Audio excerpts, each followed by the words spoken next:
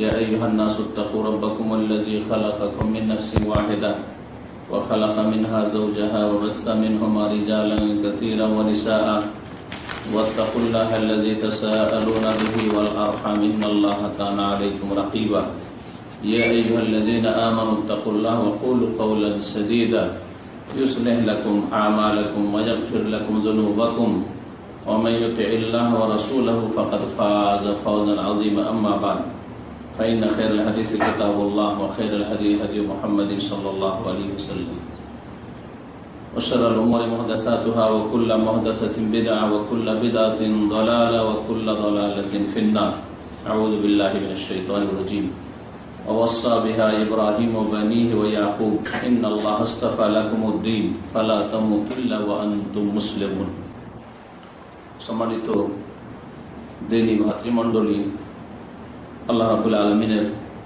যাবতীয় প্রশংসা যে মহান আল্লাহ আমাদেরকে এই জিলহাজ মাসে এবং তার আগে কয়েক মাস পূর্বে রমজান মাসে বিশেষভাবে নেক আমলের ফরজ, সুন্নত, মুস্তাহাব, নফল বেশি বেশি করার সুযোগ আল্লাহ দিয়েছে মানে আলহামদুলিল্লাহ। যদিও মানুষের সারা জীবনটাই হচ্ছে এবাদতের জীবন। ফরজ অজেব আদায় করতে হবে, হারাম না যায় অবৈধ থেকে বাঁচতে হবে। এবাদতের জীবন কাটাতে হবে। কিন্তু বিশেষ বিশেষ কিছু মৌসুম রয়েছে যেগুলি আল্লাহ রাবুল আলমিন দান করেছেন। এই মৌসুমগুলি শেষ হয়ে গেলে বান্দার কাজ শেষ হয় না। বরং বান্দার কাজ তার বন্দেগি, তার গোলামি চলতেই থাকে। ও আবুদ রব্বা কাহাত্তা ইয়াতিয়াকাল ইয়াকিন। নবী মোহাম্মদ সাল্লা সাল্লামকে মহান আল্লাহ সম্বোধন করে বলছেন যে, তোমার প্রতিপালকের এবাদত চালিয়ে যাও। তোমার মত আসা পর্যন্ত। মত যেটি নিশ্চিত বিষয়। এই মত আসা পর্যন্ত এবাদত চালিয়ে যেতে হবে। এই হচ্ছে মুসলিমের জীবন। মুসলিম পৃথিবীতে আসে, ফিতরাতের ওপর মুসলিম হয়ে। মুসলিম পরিবারে জন্ম নিলে মুসলিম হয়ে আসে। এমনকি অমুসলিম পরিবারেও যদি জন্মগ্রহণ করে, তারপরে মোহাম্মদ রসুল্লাহ সাল্লাম বলেছেন যে, কুল্ল মৌলুদ্দিন ইউলাদ আল ফিতরা। প্রত্যেক শিশু জন্মায় ইসলামের প্রকৃতির উপর, ইসলামের উপর। তারপরে তার মাতা পিতা ইহুদি হল ইহুদি বানিয়ে ফেলে। নেহি আর খ্রিস্টান হলে খ্রিস্টান বানিয়ে ফেলে নেহি আর মজুস অগ্নি পুজো হলে অগ্নি পুজো বানিয়ে দেয় হিন্দু হলে হিন্দু বানিয়ে দেয় মাজার পূজারী হলে মাজার পূজারী বানিয়ে দেয় নাস্তিক হলে নাস্তিক বানিয়ে দেয় বেদিন হলে বেদিন বানিয়ে দেয় কিন্তু প্রত্যেক শিশু জন্মায় আলাল ফিতরা দিনে ফিতরাতের উপর প্রাকৃতিক দিন যেই দিন হচ্ছে মানুষের প্রকৃতির সাথে এক প্রকৃতি বিরোধী নয়। সেই দিনের প্রতি মানুষের জন্ম হয়। আমরা পৃথিবীতে এসেছি মুসলিম হয়ে। আল্লাহ রাবুল আলমিন হওয়া পর্যন্ত এমনিতেই মুসলিম রেখেছেন। সাবালক হওয়ার পরে এখন ইসলামকে চয়েস করে নিতে হবে। আর মুসলিম হয়ে জীবন কাটানোটা সবচাইতে বড় সফলতা। আর তারপরে মুসলিম হয়ে ইসলামের উপর মৃত্যুবরণ করা হচ্ছে আসল কামিয়াবি সফলতা। মহান আল্লাহ যেন আমাদেরকে ইসলামের উপর হায়াত দান করেন এবং ইসলামের উপর মত দান করেন এবং আমাদের প্রত্যেক ব্যক্তি এবং তার পরিবার, পরিজনকে সত্যিকার মুসলিম হওয়ার তৌফিক দান করেন। সালাতিম সালাম মোহাম্মদ রসুল্লাহ সাল্লাহ সাল্লামের উপর, যিনি আল্লাহ রবুল্লাহ ইবাদত জীবনের প্রতিটি মুহূর্তে চালিয়ে গিয়েছেন কোরআন করিমে বিশেষভাবে তাকে সম্বোধন করা হয়েছে। যে মত পর্যন্ত রবের এবাদত চালিয়ে যান। এই হচ্ছে আম্বিয়া রসুলগণের দিন। আজকে জিলহজ মাস, সে অধিকাংশ দিন শেষ হয়ে ষোলো তারিখ শেষ। আমরা সতেরো তারিখের রাতে আছি। আর মাত্র কয়েকদিন পরে জিলহজ মাস শেষ হবে চোদ্দশো আটত্রিশ হিজড়ি। আর তারপরে নতুন বছর শেষ হবে। এই যে শেষ হওয়ার বিষয়টি, এই বিষয় নিয়ে আলোচনা করব। মানুষের শেষ আমল। শেষ আমলের গুরুত্ব সম্পর্কে। শেষ আমল যে কত গুরুত্বপূর্ণ, এই বিষয়টি নিয়ে আজকে আলোচনা করব। আমাদের বছর শেষ হচ্ছে এই জন্য শেষ আমল সম্পর্কে আলোচনা করব। আর যত সময় যাচ্ছে, আমাদের দুনিয়াটা শেষ হতে যাচ্ছে এই জন্য শেষ আমল নিয়ে আলোচনা করব। আর এমন একটা সময় আল্লাহ নির্ধারিত করেছেন কেউ জানেন না যে কখন আমাদের সময় শেষ হয়ে যাচ্ছে, আমাদের সূর্য অস্ত হতে যাচ্ছে। আপনি কল্পনা করতে পারেননি যে আপনার সূর্য এখন ডুবতে যাচ্ছে পৃথিবী থেকে। কল্পনা করতে পারেননি। আপনি অনেক লম্বা আশা আকাঙ্ক্ষা করে বসে আছেন, অনেক হাতে কর্মসূচি নিয়ে বসে আছেন যে এত এত কাজ করব, আর এইরকম হব সেই রকম হব ছেলে মেয়েদেরকে এইরকম করব সেই রকম করব। অথচ তার অনেক আগে আপনার সূর্য ডুবতে যাচ্ছে। এই বিষয়টি খুব ভালোভাবে, গভীরভাবে চিন্তা করা উচিত এবং গভীরভাবে উপলব্ধি করা উচিত। এর যেন আমাদের সূক্ষ্ম অনুভূতি থাকে, আমরা যেন এহসাস অনুভূতি রাখি, হাড়ে হাড়ে টের পাই যে আমাদের নিঃশ্বাসের নেই বিশ্বাস। কথা তো আমরা বলি, কিন্তু অনেক সময় মুখে বলি অন্তর থেকে। মুখে বলি, কাজে কর্মে বলি না। সবচেয়ে বড় দোষ হচ্ছে আমাদের এই কথা বলতে হবে যেমন মুখে জবান দ্বারা, তেমন সেই কথাটি বের হইতে হবে অন্তর থেকে অন্তর অন্তরস্থল থেকে। এবং সেটি কাজে কর্মে কথা। যখন ব্যাপারটা এইরকমই যে নিঃশ্বাসের নেই বিশ্বাস, তখন আমার সময়টা কখন শেষ? এদিকে বলতে পারেন শেষ আমলের গুরুত্ব। মানুষের লাইফ কখন শেষ? মানুষের জীবন কখন কখন শেষ? বলতে পারবেন যে আমার জীবনটা শেষ হইতে আরও বিশ বছর আছে। দশ বছর আছে। এক বছর আছে। এক মাস আছে। এক সপ্তাহ আছে। একদিন আছে। অথবা এক ঘণ্টা আছে। এক মিনিট বা এক সেকেন্ড আছে। কেউ বলতে পারবে? কেউ বলতে পারবে না। কারও ক্ষমতা আল্লাহ এটা দেননি। এই গায়ের অদৃশ্য সম্পর্কে কাউকে জানাননি রব্বুল আলমী সুতরাং এই যে আমাদের শেষ আমলের গুরুত্ব মানে এই নয় যে এখন আমার বয়স তিরিশ, চল্লিশ বা বিশ, পঁচিশ অনেক যুবকদের, বা আমার অনেক সময় আছে, সাধারণত লোকজন ষাট, সত্তর, আশি বছর বাঁচে, আর আমিও রকম আমার নিজের ক্ষেত্রে ধরে রেখেছি, ষাট, সত্তর, আশি বছর তো বাঁচবো। তাহলে আমার সময় শেষ হতে আরও যথেষ্ট সময় আছে। শেষ জীবনের আমলগুলি আমি ভালো করে দেব অধিকাংশ মুসলিমরা এইরকম মুরজিয়া আকিদার হয়ে আছে। অর্থাৎ আমলে বিলম্ব করা। মুরজিয়া মানে হচ্ছে আমলে বিলম্ব করা আমলের ওই রকম গুরুত্ব না দেওয়া যে এক্ষুনি আমাকে এই কাজগুলি করতে হবে, এখন থেকে শুরু করতে হবে। না, যথেষ্ট সময় আছে। কিন্তু আপনি একটু গভীরভাবে চিন্তা করে দেখুন তো, আসলে কি সময় আছে? যেইটুকু সময় পাচ্ছেন, এখন এটা হচ্ছে আপনার সময়। আর এই যে যেটুকু সময় আপনার সামনে আছে এতেই শেষ হয়ে যেতে পারে আপনার সময় এরপরে আপনার কাছে সময় আছে, না আছে, কিছুই জানা নেই। সুতরাং শেষ আমলের গুরুত্ব এই কথাটি গভীরভাবে একটু চিন্তা করবেন। আমার এই বিষয়বস্তুটি যাতে করে বিষয়টা ভালো করে বুঝতে পারেন এবং সেই অনুযায়ী অন্তরকে ঠিক করেন, আচার আচরণ ঠিক করেন কথাবার্তা ঠিক করেন এবাদত বন্দী ঠিক করেন, আল্লাহর সাথে সম্পর্ক সুন্দর করেন বাপ মায়ের সাথে সম্পর্ক ঠিক করেন, মমিন, মুসলিম ভাই বোনদের সাথে সম্পর্ক ঠিক করেন, আপনার তৌহিদকে ঠিক করেন সন্ন্যতের অনুসারী হন, শিরিক বিদার থেকে মুক্ত হন। এই কথা কখনো ভাবেন না যে যথেষ্ট সময় আছে শিক্ষার আমার কাছে। এটি শেষ সময় হতে পারে যে আজকের আলোচনাটা আমার, আপনার শেষ। সুতরাং এলিম শিখা এখানেই সমাপ্ত। এটাই হচ্ছে শেষ, এলিম শিখা আপনার। আজকের এশার সলাদটা আপনার শেষ, সুতরাং লাস্ট নামাজ আপনার এশার নামাজই ছিল আজ হজর নসিবে নেই। হতে পারে এই বছরের হজটে আপনার লাইফের শেষ সামনে বছর হজ আপনার এতে নেই, ভাগ্যে নেই। আপনি সেই হজের মৌসুম আর দেখতে পাবেন না। সামনে রমজান হয়তো আপনার নসিবে জুটবে না, এই গত রমজানটি আপনার শেষ ছিল, শেষ আমল ছিল। গত লাইলাতুল কাদারটাই আপনার শেষ ছিল, গত আরাফাটাই ছিল, আপনার শেষ আরাফা ছিল। একটু চিন্তা করবেন, যাতে করে সংশোধন করা সম্ভব হয়। শেষ আমলের এত গুরুত্ব যে কোরআনে কেরেমের দুটি আয়াতে বিশেষভাবে একই শব্দ ব্যবহার করা হয়েছে। একটি আয়াতে ইব্রাহিম খালিউল্লাহ আলী সালামের ওসিয়ত তার ছেলেদেরকে আর তার ছেলেরা সকলে নবী। এবং তার ছেলেরা যে নবী, তাদের তাদের হ্যাঁ আগামী প্রজন্মের জন্য, বংশধরের জন্য বলি ইসরায়েলদের জন্য, ইয়াকুব আলী ইসলামের ওসিয়তের কথা মহান আল্লাহ উল্লেখ করেছেন।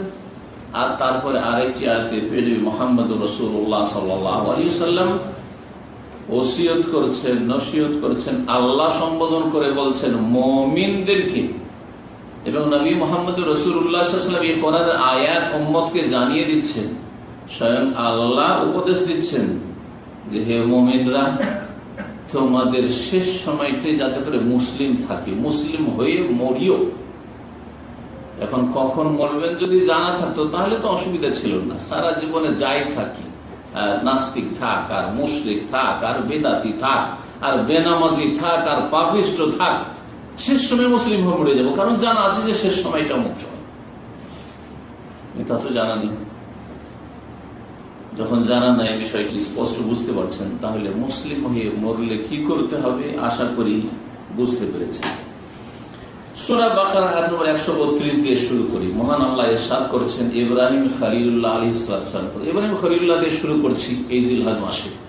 কারণ জিলহাজ মাসে যে এবাদত বিশেষ করে শরীয়ত রয়েছে ফরজ হোক আর সন্ন্যত হোক সবগুলি হচ্ছে এই মাসের সাথে খাস ইবাদত হচ্ছে কি? হজ তাই না? এই মাসের সাথে খাস এবাদত হচ্ছে কোরবানি হ্যাঁ? এই মাসের সাথে খাস হচ্ছে হজের তোয়াফ সাফা মারার সাই আর তারপরে ওই ওই জামারাতকে পাথর মারা আরাফায় অবস্থান মেনায় থাকা মুজদালিফায় থাকা এই সবগুলি কার সন্ন্যত এব্রাহিম সন্ন্যত সুরা রয়েছে যে আল্লাহ রবুল কাবাগর তৈরি করার পরে ইব্রাহিম বললেন তুমি এখন ঘোষণা করো হজের জন্য। হজের জন্য ঘোষণা। আলী সালাম স্বপ্ন দেখলেন তার প্রিয় সন্তান ইসমাইল আলী ইসলামকে কোরবানি করছেন। কোরবানি করছেন, দৌড়াদৌড়ি, ছোটাছুটি করতে পারে এরকম বয়সে। ছেলের মন বুঝতে জিজ্ঞেস করলেন, নিজে তো প্রস্তুত, কারণ নবীর স্বপ্ন হচ্ছে ওহি, কোরবানি করতে হবে, আল্লাহ কোরবানি চেয়েছেন ছেলে ছেলে বলছি হ্যাঁ আবার ফাল মাতুমার হে আব্বা, যা আদেশ হয়েছে তা করে ফেলুন নির্দেশ হয়ে করে ফেলুন আমার পক্ষ থেকে কোন আপত্তি নেই। ছেলে তেমনই যেমন বাপ সুখান কোরবানি করতে গেলেন যে, মেনার মাঠে সেখানে হাজি সাহেবরা কত লক্ষ লক্ষ কোরবানি করবেন এব্রাহিম আলী সালামের ওসিয়তটা কি?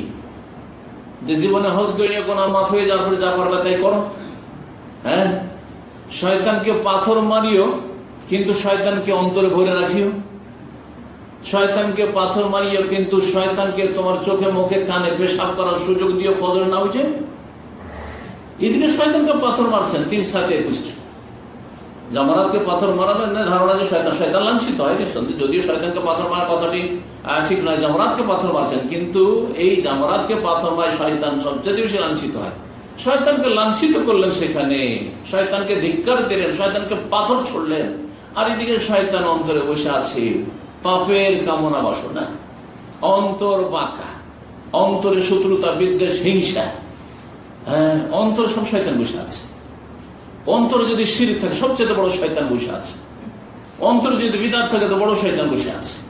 অন্তরে পাপের কামনা বাসনা, শাহওয়াত, কুপ্রবৃত্তির রোগ, তাহলে শয়তানকে বসিয়ে রেখেছে। একটু সুযোগ পেলেই পাপে লিপ্ত। হ্যাঁ? নারীর ফিতনায় পড়ে যাবে। একটু সুযোগ পেলে পয়সার ফিতনায়, মালের ফিতনায় পড়ে যাবে। চুরি মানে আত্মসাত যেভাবে হোক না কেন পয়সা আসলেই হলো। সুদ, ঘুষ, যেভাবে হোক না কেন।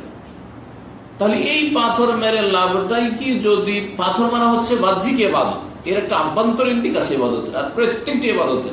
এই বিষয়ে একটা আলোচনা করব। প্রত্যেকটি এবাদতের একটা জাহের আছে মানে বাহ্যিক অবস্থা আছে, বাহ্যিক দিক রয়েছে, আর একটা বাতেন আছে, আভ্যন্তরীণ অবস্থা রয়েছে। প্রত্যেকটি ইবাদতে।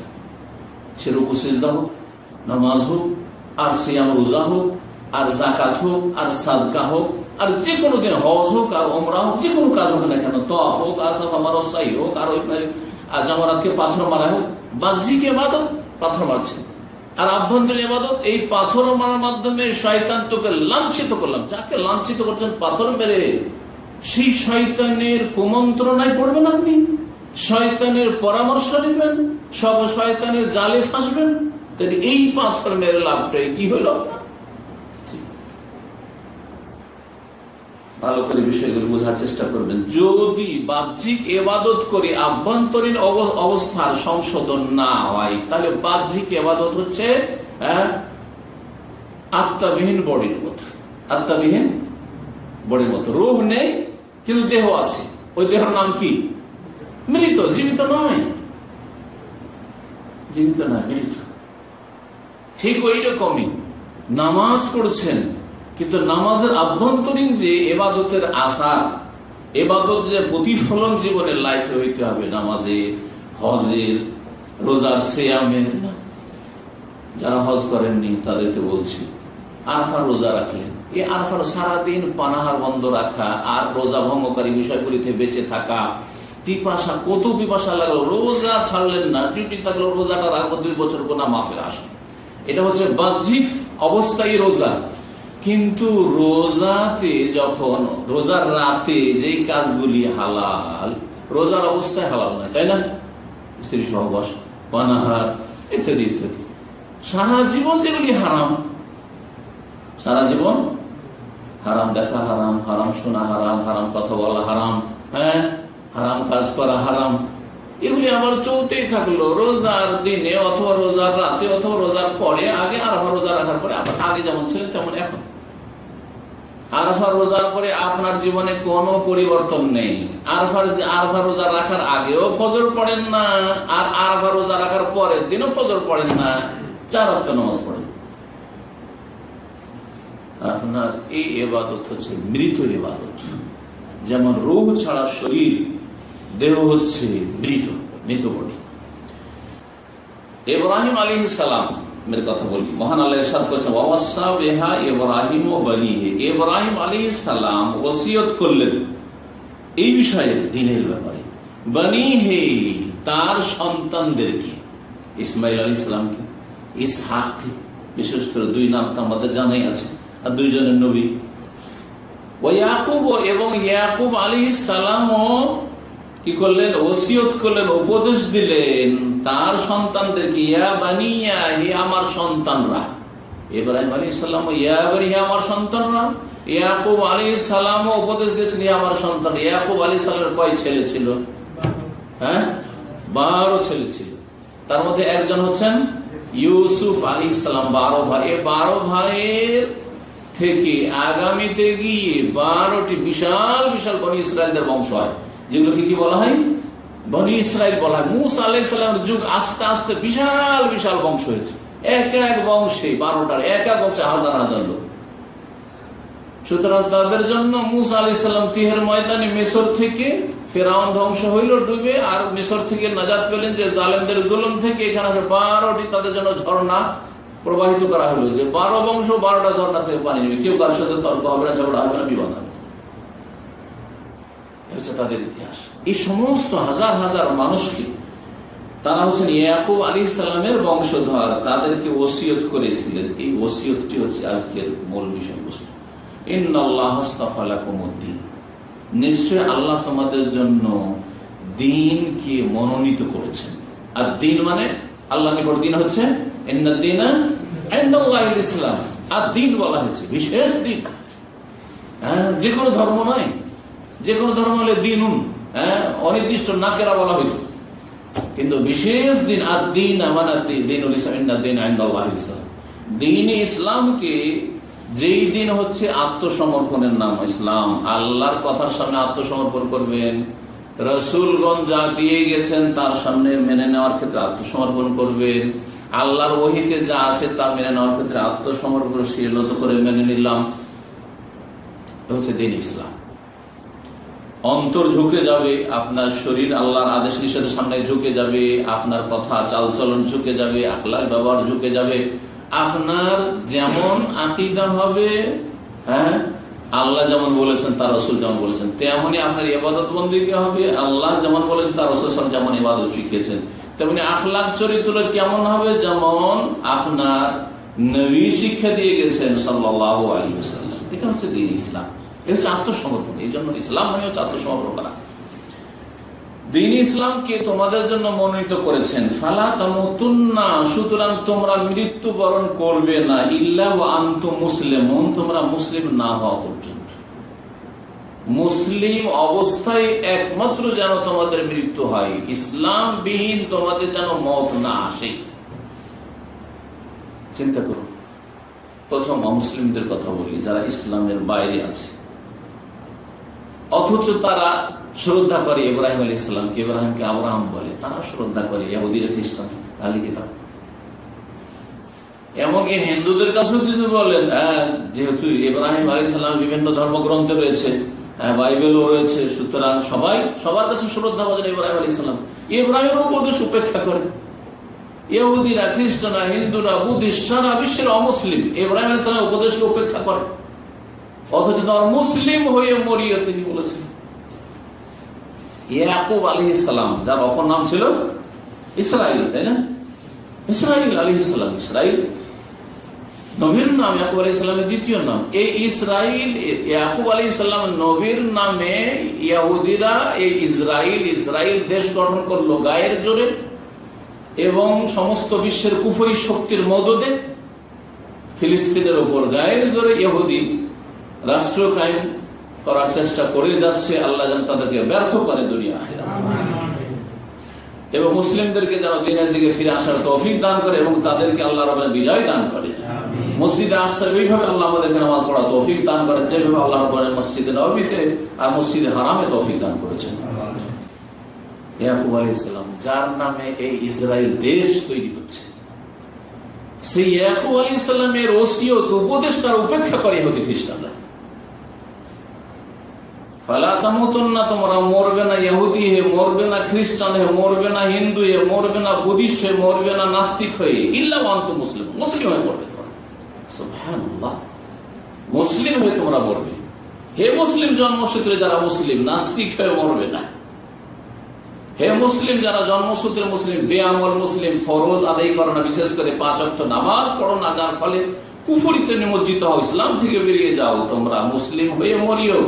বেনামাজি আধা নামাজি হয়ে যদি মরো, ফজর ছেড়ে যদি মরো, তাহলে কুফুরির অবস্থায় মত হবে, মুসলিম হয়ে মত নসিব হবে না।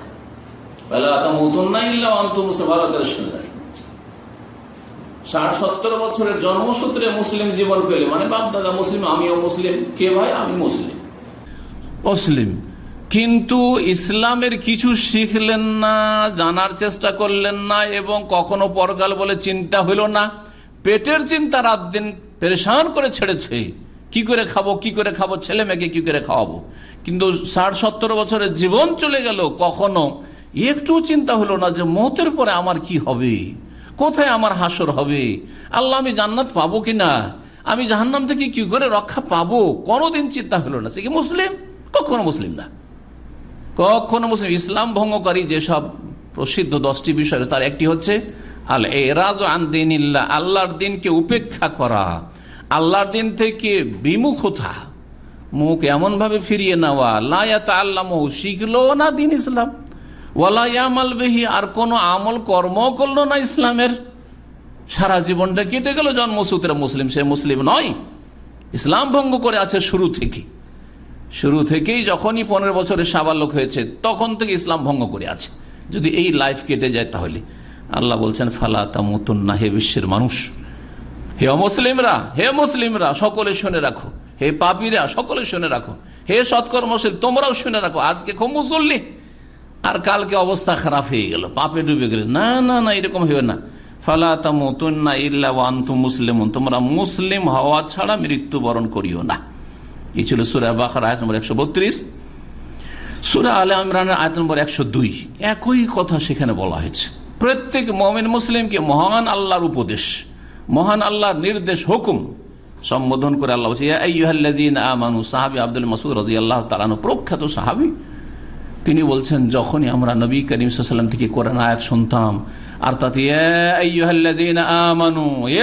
মুসলিমরা, কান খাড়া করে নিতাম। কান খাড়া করে বুঝেন তো না? হ্যাঁ সজাগ হয়ে যেতাম। হে মানব সকল, কান খাড়া করে নিতাম। সজাগ হয়ে যেতাম। যে হয় কোনো আল্লাহ আদেশ করছেন, যা পালন করতে হবে, জানতে হবে, মানতে হবে। আর না হলে নিষেধ করছেন, বারণ করছেন, জানতে হবে আর বিরত থাকতে হবে। এটা হচ্ছে আপনার আল্লাহর সাথে সম্পর্ক। যদি মোদির কোনো কথা বলে, কান খাড়া করে বসে আছেন হ্যাঁ এক কাপ চা নিয়ে আসতে বলবে তাই, শুধু রাজি করার জন্য। হ্যাঁ মোদিরও না কিছু না। হ্যাঁ কোন একটা সাইডে তার দ্বারা সে আপনার কোনো ক্ষতি করে দিতে পারে যদি তাকে রাজি না রাখেন তাহলে। কিছুই না, সাধারণ একজন অরকার হয়তো। কিন্তু সে আপনার চাইতে সিনিয়র যেহেতু ফোরম্যান অথবা সুপারভাইজার তার হাতেও কিছু সামান্য চাবিকাঠি আটার ক্ষমতা আছে। সুতরাং আপনার রুজি টাইট করে দিতে পারে। ওকে রাজি করার জন্য জি হুজুরির শেষ নেই। আর মহান আল্লাহ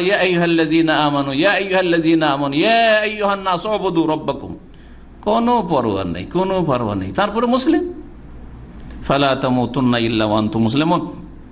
বলছেন মহান আল্লাহ, এই আয়াতটি আলে ইমরানের যে একশো দুই নম্বর আয়াত, যে তিনটি আয়াত সুন্নতি খুদবায় পাঠ কর খুদবতুল হাজা। যে কোনো আলোচনায় নবী সাল্লাম পাঠ করতেন, যে কোনো জুমা, ঈদের খুদবায় পাঠ করতেন, এবং যে কোনো সভায় পাঠ করতেন, তারপরে বিয়ে শাদির ক্ষেত্রে এই সন্ন্যতি আমাদের বিয়ে শাদির ক্ষেত্রে শুধু বাকি আছে। বিয়ে শাদির ক্ষেত্রে পাঠ করতেন, যখন বিয়ে পড়াইতেন তিনটি আয়াতের একটি আয়াত আমানু হে ইমানদার লোকেরা, মমিন, মুসলিমরা শোনো, ইত্তাকুল্লাহ হাক্কা তুকাতিহি যথাযথ আল্লাহকে ভয় করো। আল্লাহকে যেমন ভয় করা বলে ওই রকম ভয় করো। যেই রকম ভয় করলে আমরা কি করি দুনিয়ার ক্ষেত্রে? যাকে ভয় করেন, তার ক্ষেত্রে কি করেন আপনি? তার ক্ষেত্রে বা যেই বিষয়কে ভয় করে, যেই বস্তুকে ভয় করে, সেই সম্পর্কে আপনি, আপনার ভূমিকাটা কীরকম সেই সময়? ভয়ের অবস্থায়। আল্লাহকে যথাযথ ভয় করো। ওয়ালা তামো তন্না ইল্লা মুসলিমুন। আর তোমরা মুসলিম না হয়ে মরিও না। ওখানে রয়েছে ফালা তামো তন্না এখানে রয়েছে ওয়ালা তামো তন্না ওয়াই আর ফায়ের পার্থক্য। একই কথা। তার বিষয়টি কত গুরুত্বপূর্ণ যে ইসলামের অবস্থায় সর্বদা থাকার চেষ্টা করা। যাতে করে আমরা ইসলামটা টিকে থাকি।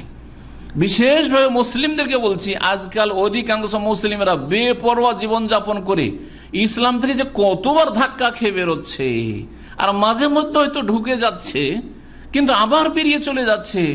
সকালে ঢুকছে, দুপুরে বেরিয়ে যায়, দুপুরে ঢুকছে বিকালে বেরিয়ে যাচ্ছে বিকালে ঢুকছে, রাত্রে বেরিয়ে যাচ্ছে, রাত্রে ঢুকছে, সকালে বেরিয়ে যাচ্ছে। ইমান ভঙ্গ করে চলে যাচ্ছে। বিশেষ করে সবচেয়ে বড় রোগ হচ্ছে নামাজ কোন অক্ত ছেড়ে দেওয়ার মাধ্যমে ইসলাম থেকে ধাক্কা খেয়ে বেরিয়ে চলে যাওয়া। শয়তান ধাক্কা দিয়ে টেনে নিয়ে চলে যাচ্ছে, কিন্তু শয়তানের এই অনিষ্টকে বুঝে না অবুজ মুসলিমরা। ওয়ালা তামুতুন্না ইল্লা ওয়ান্তুম মুসলিমুন, তোমরা মুসলিম হওয়া ছাড়া মরিও না। কেন মুসলিম হয়ে আল্লাহ মরতে বলেছেন? আল্লাহ লাভ না আমাদের লাভ? শোনেন ভালো করে। মতের পরে কি হবে? কিছু সময় আমরা থাকব। মাটিতে, কবরে, যে যেখানে দাফন হইল বা শেষ হইল থাকল। যে পানিতে ভাসলো পানিতে, যে যাকে জ্বালিয়ে দেওয়া হইল জ্বালিয়ে দিয়ে যে যেখানে যার সমাপ্তি ঘটেছে, তারপরে পৃথিবী ধ্বংস হবে, বিচার দিবস হবে অমল কেয়ামা হবে, আখেরাতে হাসর মাঠে সবাইকে জমা হইতে হবে, একত্রিত হইতে হবে। এতে কোনো সন্দেহ আছে? লারাই বাফি কোনো সন্দেহ নেই হাজির হইতে হবে। আর এ কথা যদি বিশ্বাস না থাকে, তাহলে অমুসলিমে আর এই রকম মুসলিমে কোনো পার্থক্য নেই। যখন আমাদের আলহামদুলিল্লাহ বিশ্বাস আছে, সেই দিন উঠবেন কি অবস্থায় কথা শোনে। যেই দিন মরেছেন, ওই দিনের যে অবস্থাটা ছিল, ওই অবস্থায় উঠবেন আপনি। সহে মুসলিমের হাদিস হাদিস নম্বর পাঁচ হাজার একশো ছাব্বিশ। আল্লাহ তিনি বলছেন আমি নবী ইসলামকে বলতে শুনেছি ইউব কুল্লু আবদিন আলা মা মাতা প্রত্যেক আর পুনরুত্থান হবে, প্রত্যেক বান্দার প্রত্যেক মানুষের পুনরুত্থান হবে মানে হাসরের মাঠে বিচার দিবসে উঠবে কিসের ওপর? আলা মা মাতা আলিহে যেই অবস্থায় মারা গেছিল সেই অবস্থায়। প্রত্যেকে যে অবস্থায় মৃত্যুবরণ করেছিল সেই অবস্থায় কোথায় উঠবে? হাসরের মাঠে উঠবে। ভালো করে শুনে রাখেন, হাসরের মাঠে উঠবেন তাহলে আপনি যদি মুসলিম হয়ে মৃত্যুবরণ করেন, তাহলে হাসর মাঠে মুসলিম হয়ে উঠবেন। আপনি যদি নামাজি হয়ে মৃত্যুবরণ করেন, পাঁচ অক্ত নামাজি, ফজর সহ, তাহলে নামাজি বলে চিহ্নিত হয়ে উঠবেন কেমতের মাঠে। বেনামাজি হয়ে যদি মারা যান, তাহলে বেনামাজি হয়ে উঠবেন, সেদিন বেনামাজির কাতারে দাঁড় করে দেওয়া হবে। নাস্তিক হয়ে যে মারা যাবে, সে নাস্তিকদের দলে উঠবে, নাস্তিক হয়ে উঠবে। ইহুদি হয়ে যে মারা যাবে, খ্রিস্টান হয়ে যে মারা যাবে, হিন্দু হয়ে মারা যাবে, সে অবস্থায় উঠবে। আল্লাহ মামা তালি সারা জীবন কি করেছেন? অতীতে। সেটা দেখা হবে না। ওই রকমই যেমন ইবলিশ সারা জীবন কি করেছিল? আল্লাহর বহু এবাদবন্দি করেছিল। বহু এবাদবন্দি করেছিল। কিন্তু শেষখানে কি করল? আনা খাইরুমিন অহংকার বশত কুফরি করল। সব বিধানকে আল্লাহর অস্বীকার করেনি। আল্লাহর অস্তিত্বকে অস্বীকার নাস্তিকও ছিল না সে। এমনকি বহুত্ববাদী মুশ্রিকও ছিল না, কিন্তু আল্লাহর একটি বিধানকে অস্বীকার করেছিল। একটি বিধানকে অস্বীকার করেছিল। কি বিধানটি ছিল? উসজুদুল আদম। তাকে সেজদা করো? আদমকে সেজদা করো। আদমকে সেজদা করতে অস্বীকার করেছিল। তাও আমি করব না এমনি? না, একটা যুক্তি দেখিয়েছিল। যুক্তির ভিত্তিতে যুক্তিটি ছিল অযুক্তি। আনা খাইরমিন আমি ওর চাইতে শ্রেষ্ঠ। খালাক্তানিমিন নার খালাক্তাহমিন তিন। ওকে মাটি দিয়ে তৈরি করেছে আদমকে। আর আমাকে কি দিয়ে তৈরি করেছে? আগুন দিবেন না আগুন দিয়ে তৈরি করেছ। আগুন মাটির চাইতে শক্তিশালী। যুক্তি পেশ করল কেয়াস। সুতরাং আগুন কি করে মাটির সামনে ঝুঁকতে পারে? মাটির সামনে আগুন ঝুঁকবে না। আল্লাহ সব মানতে রাজি। বরং যখন বিতাড়িত হইল ছাড় চাইলো যে আমাকে এই ক্ষমতা দাও, এই ক্ষমতা দাও, আমি একবারে কেমন পর্যন্ত যাতে করে বেঁচে থাকি, না মরি। আর আদমের কারণে যখন এইরকম আদমের সব সন্তানকে যাতে জাহান নামে আমার সাথে নিয়ে যেতে পারি, সবগুলি দোয়া কার কাছে করেছিল? হ্যাঁ? দুর্গার কাছে করেছিল? দরগাহে গিয়ে করেছিল? হ্যাঁ? খাজা বাবার কাছে করেছিল? না জিলানি চিস্তির কাছে করেছিল? হ্যাঁ? লক্ষ্মীর কাছে করেছিল? কারও কাছে করেন, কার কাছে?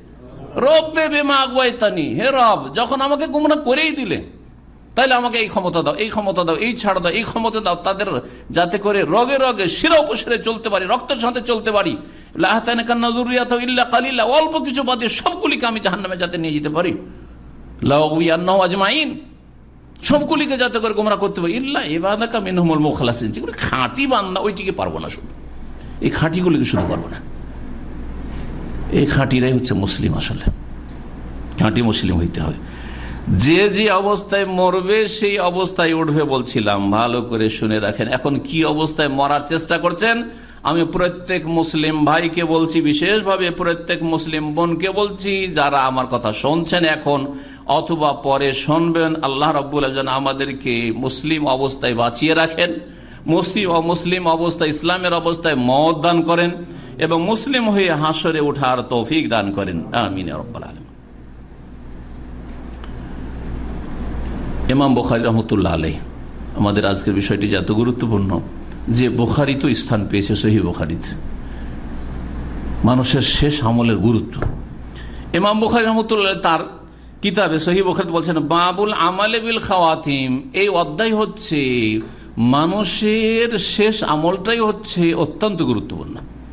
আসল আল আমাল বিল খাওয়াতি মানে আসল আমল হচ্ছে আল বিল খাওয়াতিম মানে শেষ আমলগুলি। শেষ আমলটা কেমন ছিল? এখন যারা পাঁচ অক্ত নামাজি তাদের কথা বলি। অনেকেই পাঁচ অক্ত নামাজি, দীর্ঘদিন ২০ বছর ৩০ বছর পাঁচ অক্ত নামাজি। পাঁচ বছর, সাত বছর, দশ বছর দিন শিখলেন। দিন শিখার পরে গুমরাহির শিকার হলেন। শয়তানকে সুযোগ দিয়ে দিলেন। বড়ই হতভাগা। কেউ লম্বা দাড়ি রাখার পরে দাড়ি মন্ডন করে ফেললেন। আউজবিল্লাহ আলহামদুলিল্লাহ বলেন যে আল্লাহ বাঁচিয়ে রেখেছে। এবং আল্লাহর কাছে দোয়া করেন যে আপনি ওইরকম যাতে না হন। আল্লাহ যেন আমাদের হেফাজত করেন। দীর্ঘদিন নামাজ পড়লেন, এলেম শিখলেন। শিখার পরে বাংলাদেশে গিয়ে আবার শির্ক বেদার শুরু করে দিলেন। কোন চাপের মুখে পরিস্থিতি বাধ্য করল, এই যুক্তি, সেই যুক্তি। অথবা দুনিয়ার লোভে পড়ে নামাজ টামাজ বাদ দিয়ে নেমে গেলেন, মানুষের তৈরি করার রাজনীতিতে অথবা আর কোনো নীতিতে নেমে গেলেন, গোমরাহিতে নেমে গেলেন। তৌহিদ গেল, সুন্নত গেল, বিদাতে লিপ্ত হইলেন, শিরকে লিপ্ত হইলেন, সব পাপ করছেন। হ্যাঁ অনেকেই অনেক কিছু শিখে নিয়েছেন মাসাল্লাহ তারপরে অনেক আমল করলেন আর শেষখানে মহিলার ফিতনায় পড়ে ইমান আখলাক বরবাদ করে ফেললেন। ইন্নামাল আমল বিল খাওয়াতিম, আসল আমল হচ্ছে শেষকার আমল। আগের আমলগুলি সব বেকার গেল, সব ইবলিশ শয়তানের মতো। ইবলিশ শয়তানের মতো বরবাদ হয়ে গেল। অনেক দিন শিখলেন মাসাল্লাহ তাবারাকাল্লাহ। তারপরে এমন ইন্টারনেটের ফেতনায় আর ফেসবুকের ফেতনায় পড়লেন যে সারা রাত ফেসবুক নিয়ে পড়ে আছি, সারা রাত ইউটিউব নিয়ে পড়ে আছি, বা সেক্স ফিল্মগুলো দেখতে আছে, ব্লু ফিল্ম দেখতে আছে, এই করতে করতে আখলাখ চরিত্র বরবাদ, এমনকি ফজর নামাজ বরবাদ। রাত তিনটেতে তখন ঘুমায় আর জোহর পর্যন্ত, বরং জোহর পরে, অনেকে আছে, জোহরের পরে টেলিফোন করছে, ঘুমাচ্ছে। মাঝে মধ্যে এইরকম কিছু লোক পেয়েছে, যেই লোকগুলি কিছু দিন শিখে, কিন্তু খোঁজ খবর নিয়ে সে অনলাইনে হয়তো শিখে, নিয়মিত হয়তো আসে না, কিন্তু শিখার পরেও, মাগরেবের পরে শুয়ে আছে। মাগরেবের নামাজের পরে শুয়ে আছে। মাগরেব পরে শুয়ে থাকে একজন মুসলিম কি করে হইতে পারে? তাহলে এসা পড়বে কি করব অসম্ভব কথা যে একটা লোক মাগরেব পরে শুয়ে আর এসা পড়বে সে জবাতে চিন্তা করুন আপনি। এমনটা যেন না হয়। বাবুল আমাল বিল খাওয়াতি বখার মতল বলছেন, এই অধ্যায় হচ্ছে যে শেষ আমলের বড়ই গুরুত্ব রয়েছে। আমল, আসল আমল হচ্ছে, মূলত আমল হচ্ছে শেষ আমল। শেষ যার ভালো, সব ভালো। আর শেষ যদি খারাপ হয়ে যায়, তো আগের গুলি আগের গুলি ভালো থাকলেও ইবলি শয়তানের ভালোর মতো হয়ে যাবে। এমনটা যাতে না হয়। বিষয়টি খুব গুরুত্বপূর্ণ।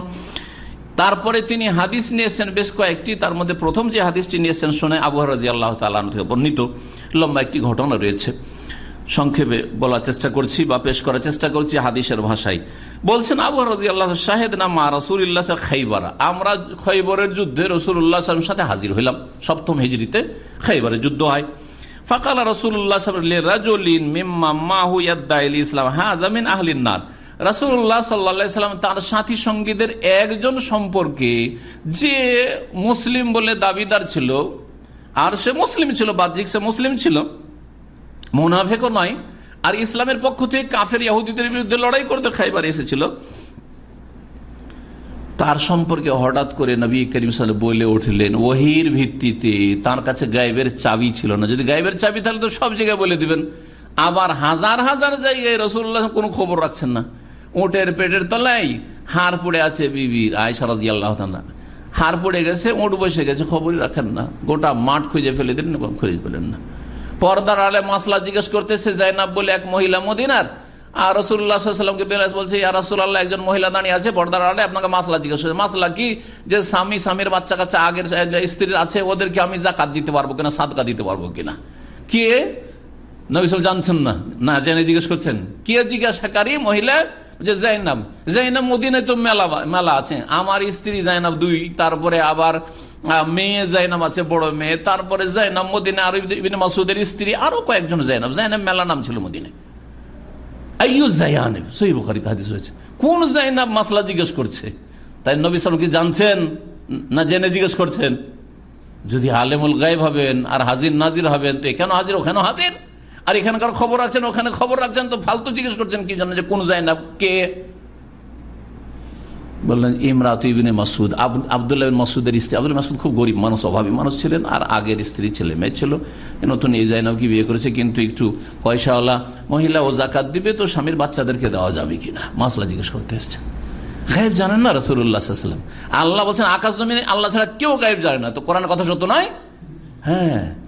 তা গাইবের চাবি রসুল কাছে ছিল না। কিন্তু যখন যখন আল্লাহ কোনো কিছু সম্পর্কে জানিয়ে দিয়েছেন ওই করে দিয়েছেন, জানতে পেরেছেন। এই লোকটি সম্পর্কে রসুল্লাহ জানিয়ে দেওয়া হয়েছে, এই লোকটি এখন যতই ইসলামের পক্ষ থেকে লড়াই করুক, শেষ পরিণামে সে কাবিরা গোনা করে মারা যাবে, যার ফলে জাহান নামে যাবে নবীলামকে ওহি দ্বারা জানানো হয়েছে। যেই যেই ক্ষেত্রে জানিয়ে দেওয়া হয়েছে, তখন তিনি বলেছেন, এটা নবী সালামের মজিসা এটি হচ্ছে নবীর মজিজা বলবেন, কিন্তু নবীর হাতে চাবি ছিল না। মজিজা নিজের হাতে থাকে না, যখন আল্লাহ দেখান, তখন হয়। তো বলছেন যে ওই লোকটি সম্পর্কে বলে আহলিন নারে এই লোকটি জাহান নামে যায়। ফালাম্মা হাদার আল কেতাল, যখন লড়াই শুরু হয়ে গেল, কাতাল রাজল মিন আসাদ্দিল কেতাল। একেবারে যে লড়াই করল না সীমাহীন তাতে তার অবদান। লড়াই করে, জবরদস্ত লড়াই করল সে কাফেরদের বিরুদ্ধে। ও কাসরাত বিহিল জারাহ, এত লড়াইয়ে সে অংশ নিয়েছিল, কোনো পরোয়া না করে যে তার মাথা থেকে পা পর্যন্ত ক্ষত বিক্ষত হয়ে গেছিল। জখমের চোটে আর থাকতে পারছে না, বরদাস্ত করতে পারছে না।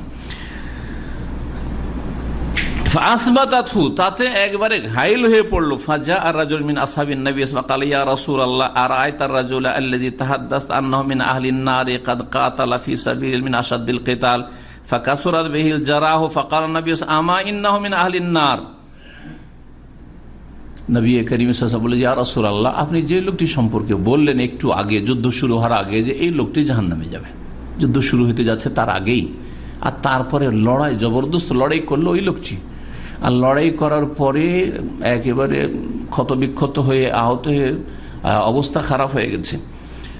এইরকম অবস্থা দেখে আবার সাহাবি ছুটেছে আর রসুল্লাহ এত সুন্দর লড়াই করল, আর মাথাতে পা পর্যন্ত ক্ষত বিক্ষত বেচারা।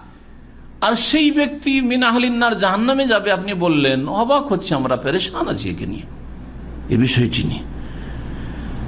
আপনি বললেন যে এই লোক জাহান কেমন কথা? ফাকাল নবী সাল্লামা ইন্নাহমিন আহলিনার শুনে রাখো যে এই লোক জাহান নামে যাবে।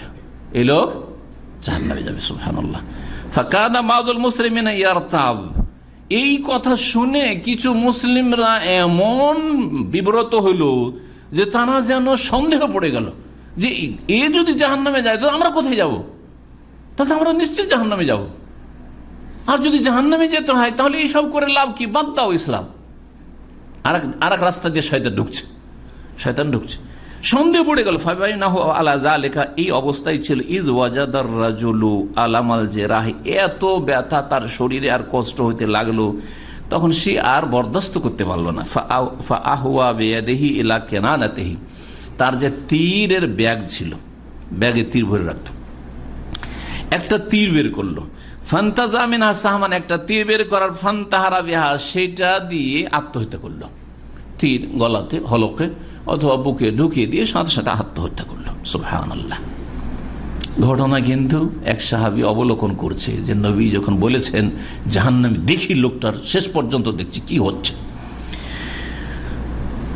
ফান্তাহারা বিহা, সে আত্মহত্যা করল। ফাস্তাদ্দার রেজালুমিন আল মুসলিম ইলা রাসুল্লাহাম মুসলিমদের কিছু যুব কিছু লোকেরা দৌড় দিয়ে রসুল্লাহ খবর দেওয়ার জন্য আসছে। ইয়া রাসুল আল্লাহ কথা আপনার ঠিক? ফকালু, ইয়া রাসুল আল্লাহ সাদ্দাক আল্লাহ হাদিসাক, আল্লাহ আপনার কথাকে সত্য করে দেখিয়ে দিয়েছেন। আপনি যে বললেন, জাহান্নামি তো, আসলেই তো জাহান্নামি। কি হয়েছে? কাদ ইনতাহারা ফোলানুন ফাকাত আলাফসা সে আত্মহত্যা করে মারা গেল এখন। ফকাল রসুল্লাহ সাল্লাহ রসুল্লাহ সাল্লাম, বিলাল রাজি আল্লাহ তালাহ মহাজেন যে মসজিদ নবীর তিনি ছিলেন বলে, ইয়া বিলাল, কুম ফাজেন যাও আর ঘোষণা দাও, ঘোষক করে পাঠাইলেন তাকে, ঘোষণা দাও কি? মুসলিম ছাড়া কেউ জান্নাতে যেতে পারবে না। মমিন মুসলিম ছাড়া কেউ জান্নাতে যেতে পারবে না। তাহলে জান্নাতে যেতে হলে কি হইতে হবে? মমিন মুসলিম হয়ে বাঁচতে হবে, মুসলিম হয়ে মরতে হবে। যে মুসলিম হয়ে মরার চেষ্টা করবে, আল্লাহ তাকে ধাক্কা দিয়ে ঠেলে দেবেন না, কখনো না। কখনো অসহায় ছেড়ে দেবেন না। যদি দেখেন যে কেউ মুসলিম হয়ে মরতে পারল না, নাস্তিক হয়ে মরলো মুশরে কবর পূজারী হয়ে মরলো, বেদিন হয়ে মরলো, বেনামাজি হয়ে মরলো, সে তার কর্ম তো সেইটা করেছে। আল্লাহ ধাক্কা দিয়ে সে চেষ্টা করেছে নামাজের পাবন্দি করার, সে চেষ্টা করেছে তৌহিদ জানার সন্ন্যত জানার আর মানার, সে শির থেকে বাঁচার চেষ্টা করেছে, নাস্তিকতা গুমরাহি থেকে বেঁচে থাকার চেষ্টা করেছে, পাপীদের সংসর্গ থেকে বাঁচার চেষ্টা করেছে, বেদিনদের থেকে বাঁচার চেষ্টা করেছে, আর তাকে আল্লাহ ধাক্কা দিয়ে জানানো ঠেলে দিয়ে এটা কখনো হয় না। কখনো হবে না। আল্লাহর রহমতের বিপরীত কথা, এটা হইতেই পারে না। তাহলে তার কর্মদোষ এই লোকের কর্মদোষ না? বড়ই জেহাদ করল, খুব ভালো কথা। জান্নাতে যাওয়ার কাজ তো করে ফেলেছিল। জান্নাতের কাছে তো চলেই গিয়েছিল। আরে ওই অবস্থায় আর একটু সবর করতো আর একটু সবর করতো, তারপরে যদি মারা যেত, তার নাম কি হইতো? শহীদ হইতো। কিন্তু সে তাড়াহোড়া করল যে আর বরদাস্ত হচ্ছে না, বাঁচতে পারব না আর আমি। কি করব? আর বরদাস্ত হচ্ছে না, কষ্ট, আত্মহত্যা করল। যখন তাড়াহোড়া করল, তখন জান্নাত থেকে দূরে গিয়ে কোথায় চলে গেল? জাহান নামে নিক্ষিপ্ত হইল। দেখলে? জান্নাত আর জাহান্নাম কত কাছে? জান্নাত এবং জাহান্নাম কত কাছে? এটা কাফের, বড় কাফের। শেষখানে যদি তার অন্তর ফিরে যায়, আর শেষখান তারা জানা নেই জানা নেই। সুতরাং সবসময় যেন এরকম আপডেট হয়ে থাকতে পারে। ফিরে যায় আল্লাহ এলাহা ইল্লাল্লাহ মোহাম্মদ রসুল্লাহ শাহাদাত যদি দিয়ে দেয় অন্তর থেকে, সে জান্নাত চলে গেল কি গেল না? অত জান্নাত থেকে কত দূরে ছিল? আর একজন লোক জন্মসূত্রে সারা জীবন মুসলিম আর সারা সারা জীবন পাঁচক্ত নামাজ পড়ল। শেষখানে মাজারে শেষদা করল, তখনই মারা গেল। বলেন জাহান নামে যাবে না যাবে না? চিরকালে জাহান্নামি হবে, মুশরেক হয়ে মারা গেল। শেষ জীবনে সে নাস্তিক হয়ে গেল। চিরকাল জাহান্নামে থাকবে না থাকবে না? জি। শেষ জীবনে সে মুরতাদ হয়ে গেল। যেমন একজন এমামের কথা দেখা গেল যে, এতদিন এমতি করার পরে এখন সে হিন্দু হয়ে যাচ্ছে। যদি এটা ষড়যন্ত্র হইতে পারে, হতে পারে সেটা কোনো এজেন্ট, কুফুরি শক্তির এজেন্ট, আসলে সে অমুসলিম। কিন্তু এইরকম লেবাস পোশাক, বেশভূষা নিয়ে মসজিদে এমতি করে, অনেকে এইরকম থাকে ইসলামের দুশ্মন। মুসলিমদেরকে বিভ্রান্ত করার জন্য সেটা হইতে পারে। কিন্তু দেখুন, এটা যে ইসলাম শিখলো, মাদ্রাসা থেকে পাশ করল, মসজিদের এমামতি করল, দাড়ি রাখল, আর টুপি রাখল, আর কত কি করল, আর তারপরে হিন্দু হয়ে মরল। জি, বদনসিব। দোষ আল্লাহর না দোষ ওর? হ্যাঁ অসৎ লোকের দোষ, আল্লাহর কখনো দোষ না। তাহলে এর দ্বারা যে ইসলামের খেদমত হইল? যে জাহান নামে চলে গেল, তো এর দ্বারা যে ইসলামের খেদমত হইল? ও কাফেরকে মারলো হ্যাঁ আর ইসলামের পক্ষ থেকে কত যে ডিফেন্স করল? বলছেন রসুল্লাহ এর উত্তরে আল্লাহ কখনো কখনো দিনই ইসলামকে শক্তিশালী করেন, পাপিষ্টকে দিয়ে। পাপিষ্ট লোককে দিয়ে। নিজে পাপি, নিজে জাহান্নামি, কিন্তু ওকে দিয়ে ইসলামের কিছু খেদমত করিয়েন।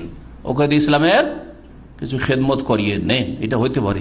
কারও দ্বারা ইসলামের খেদমত হলেই সে জান্নাতে চলে যাবে বলা যাবে না, যদি শেষ পর্যন্ত সে ইসলামের ওপর টিকে না থাকে।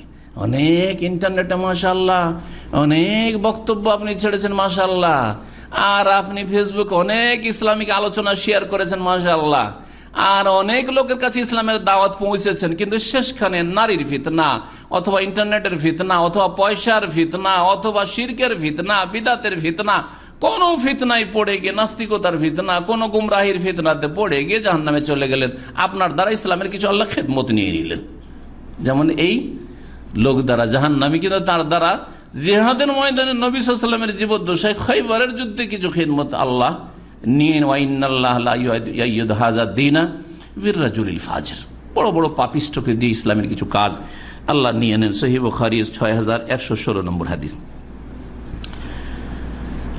এইরকমই কাছাকাছি আরেকটি হাদিস সহি বুখারিতে রয়েছে। সময়ের স্বল্পতার জন্য আর ওইদিকে না গিয়ে আর একটি হাদিস আপনাদেরকে শোনাই। সহি মুসলিমের হাদিস চার হাজার সাতশো একানব্বই। আবু আল্লাহ তালানো থেকে বর্ণিত রয়েছে ইন্নার আম কোন কোন মানুষ দীর্ঘদিন ধরে জান্নাতে যাওয়ার কাজ করে যান। দু চার ছয় মাস না।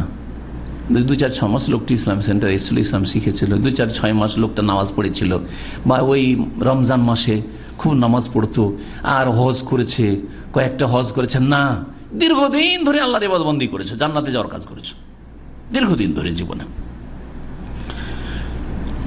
তারপরে কি হয়েছে? তারপরে তার শেষ আমলটা জাহান্নামীদের আমল হয়ে যায়। শেষ জীবনে জাহান্নামীদের কাজ করা শুরু করে। জাহান্নামে যাওয়ার যেগুলো কাজ, সেগুলো করা শুরু করে। অনেকে আছে, জীবনে ব্যবিচার জেনার কাছে যায়নি। চল্লিশ বছর পার হওয়ার পরে ব্যবিচারে লিপ্ত। পঞ্চাশ ষাট বছরে ব্যবিচারে লিপ্ত। লক্ষণ কত খারাপ। জাহান্নামে যাওয়ার কাজ করল।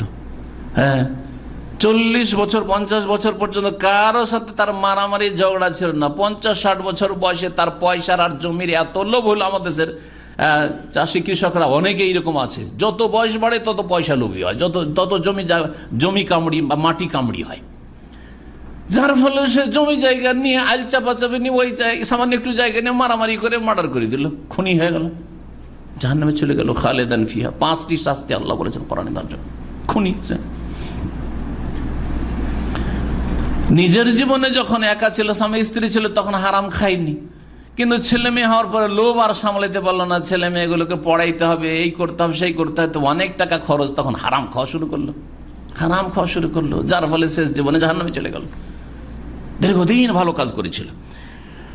বলছেন নবী করিম সাল্লাম যে এইরকম কিছু লোক আছে যারা জান্নাতে যাওয়ার হ্যাঁ আর জামানু তবিল দীর্ঘদিন ধরে, বছর কে বছর, যুগ যুগ ধরে এরকম ভালো কাজ করে যায়, তারপরে শেষখানে জাহান নামে যাওয়ার কাজ করে দুনিয়া থেকে বিদায় হয়ে যায়। আর কোন কোন মানুষ আছে যে জাহান নামে যাওয়ার দীর্ঘদিন, যুগ যুগ ধরে জাহান নামে যাওয়ার কাজ করে যাচ্ছে। বেদিন হয়ে থাকল, বেনামাজি হয়ে থাকল। একজন লোক কুয়েতে গেলাম, আর সেই ভাই বলতে লাগল, একবারে কেঁদে বলতে লাগল যে, শেখ, আমি নাস্তিক ছিলাম, বড় নাস্তিক। আল্লাহ আপনার আলোচনা আমার কাছে পৌঁছে দিলেন নেটে, আর তারপরে মুসলিম হইলাম। আর এইরকম কবর মাজার পূজা করে যে কত লোক তবা করে আছে, আলহামদুলিল্লাহ হ্যাঁ? বিভিন্ন অসিলের মাধ্যমে তবা করেছে। এখানে আমাদের এক ভাই ছিলেন, মুখতার ভাই। তিনি নিজে বলতেন যে, আমি জিন্দা পীরকে অন্ধকারে গিয়ে আন্ডারগ্রাউন্ডে পীর বসত তার মোরাকাবে। তাকে গিয়ে জিন্দা পীরকেও সিজদা করেছি। মরা পীরকে তো কবরকে সিজদা করছে মুশ্রিকরা, কিন্তু জিন্দা পীরকেও সিজদা করেছে। কিন্তু আল্লাহ রব্বন তার হেদায়ত নসির রেখেছেন। দাড়ি সাদা হয়ে যাওয়ার পরে হেদায়ত দাড়ি সাদা হওয়ার পরে হেদায়ত হয়েছে। আলহামদুলিল্লাহ, তারপরে এখন সুন্দর বাংলাদেশে গোপালগঞ্জ এলাকায় দাওয়াতি কাজ করে, মসজিদ তৈরি করেছে। জমার খোদবা দেয়। দাওয়াতি কাজ করে বেড়ায়। এই বৃদ্ধ বয়সে, ষাট বছর, পঁয়ষট্টি, সত্তর বছর বয়সে। শেষ আমল কত সুন্দর। তো আপনার শেষ আমলটা যাতে করে ভালো হয়, আর শেষ কখন তার শুরুতে কিন্তু বলেছি। শেষ মানে আবার বসে থাকবেন না যে শেষ হতে এখন বাকি আছে। অনেকে আছে যারা জাহান নামে যাওয়ার কাজ করে, আর জামানা তৌল দীর্ঘ সময় ধরে, যুগ যুগ ধরে বে আমালি আহলিনা, সুম্মা আমালুহু বে আমালি আহলি জান্নাত। তারপরে শেষ জীবনে তার জান্নাতি আমল শুরু হয়ে যায়। কি যে অন্তর ফিরে গেল, জান্নাতি কাজ করা শুরু করল, জান্নাতি যাওয়ার কাজ শুরু করল। হ্যাঁ এত আল্লাহ ভীরু হয়ে গেল, এত নেক হয়ে গেল, যে সমস্ত হারাম মুক্ত হয়ে গেল, আর বড় দিনদার পরেজগার হয়ে গেল, জান্নাতে চলে গেল। এখন যে বিষয়টি বলব, সেটা হচ্ছে যে কি করলে, কি কি কর্মসূচি হওয়া উচিত বা কি কি পদক্ষেপ হওয়া উচিত, যার মাধ্যমে আপনি বা আমি মুসলিম হয়ে মরতে পারব। জন্মে গেছি মুসলিম ঘরে। এটা আমাদের কোনো চেষ্টা ছিল? চেষ্টা করেছি নাকি? হ্যাঁ যে আমার মা যে, যার পেটে আমি গর্ভ গর্ভে এসেছি, সে যেন মুসলিম হয়, কোনো চেষ্টা ছিল নাকি? না, আল্লাহ নসিবে দিয়েছেন সৌভাগ্য এটা, তাই না? হ্যাঁ আমি আমার বাপ যেন মুসলিম হয়, এটা আমাদের সৌভাগ্য, তাই না? সৌভাগ্য। যারা জন্মসূত্রে মুসলিম হয়েছেন, বাপ মুসলিম, মা মুসলিম, সৌভাগ্য এটা। ওখানে কিন্তু আমাদের, আপনাদের কিছু করণীয় ছিল না। যে যে অবস্থায় জন্ম নিয়েছেন, কেউ বেনামাজির ঘর ঘরে জন্ম নিয়েছেন, তারও কিছু করার ছিল না। হ্যাঁ? কেউ নামাজি দিনদার পরেশগারের ঘরে জন্মেছেন, আর সে যে তার যে কোনো কৃতিত্ব যে আমি নামাজি ঘরে জন্ম নিয়েছি, তো আমি খুব বাহাদুর না। তোমার কোনো বাহাদুরি না। এখানে তোমার কোনো ভূমিকা নেই। বলো যে আল্লাহর ফজল, আল্লাহর রহমত আল্লাহ শুক্রিয়া দিই কর। কিন্তু যখন কর্ম শুরু হতে যাচ্ছে, তখন আপনার করণীয় হইতে হবে। সেটা হচ্ছে যখনই সাবালক সাবালিকা হয়েছেন, দশ বারো বছরে মেয়েরা সাবালিকা হয়ে যায়, আর চোদ্দ বছর, পনেরো বছরে ছেলেরা সাবালক হয়ে যায় এই সময় থেকে আমাদের করণীয় কি? যাতে করে আমরা মুসলিম হয়ে বেঁচে থাকতে পারি আর মুসলিম হয়ে মৃত্যুবরণ করতে পারি। এই দুটো কাজ করতে আমাদেরকে। ছয়টি পদক্ষেপ সংক্ষেপে বলব আপনাদেরকে। প্রথম হচ্ছে আল্লাহর কাছে দোয়া করা। আল্লাহর কাছে কি করতে হবে? দোয়া করতে হবে। আমি, আপনি কেন? আলেম অলমাদেরকে আরও বেশি দোয়া করতে হবে। আলেম অলমা কেউ যেন ধোকায় না থাকে। বক্তা আর শেখ যেন ধোকায় না থাকে। তাদের চাইতে বড় বড় বক্তা আর বড় বড় আলেম গুমরা পথভ্রষ্ট হয়েছে। হ্যাঁ? আমাদের চাইতে অনেক বড় ছিলেন সাহাবাইকার আমরা ছিলেন না ছিলেন না? তাদেরই তো একজন খেয়ে গিয়ে মিনাহালিনার এত লড়াই করে, এত কোরবানি করে আমরা একটা ফোটা রক্ত দিতে পারব না হয়তো। সেখানে হয়তো গিয়ে মানে পরীক্ষা হয়ে যাবে। কত রক্ত দিয়েছে, তারপর জাহান্নামে চলে গেল। হ্যাঁ? সুতরাং সবাইকে দোয়া করতে এমন কি প্রিয় নবী মোহাম্মদ রসুল্লাহ সাল্লাহ আলী সাল্লাম তিনিও দিনের উপর অটলতার জন্য আল্লাহর কাছে দোয়া করেছেন। এমনকি ইব্রাহিম খালিউল্লাহ দোয়া করেছেন দোয়া করেছেন। অবাক হয়ে যাবেন তাদের দোয়া। কোরআনে সুরা ইব্রাহিমের রয়েছে। ইব্রাহিম আলী ইসলামের কথা শোনায় আপনাদের। ইব্রাহিম আলী ইসালাম একমাত্র নবী, যিনি এই আম্বিয়াদের ইতিহাসে মূর্তি ভেঙে চূর্ণ বিচ্ছিন্ন করেছেন। ঠিক না?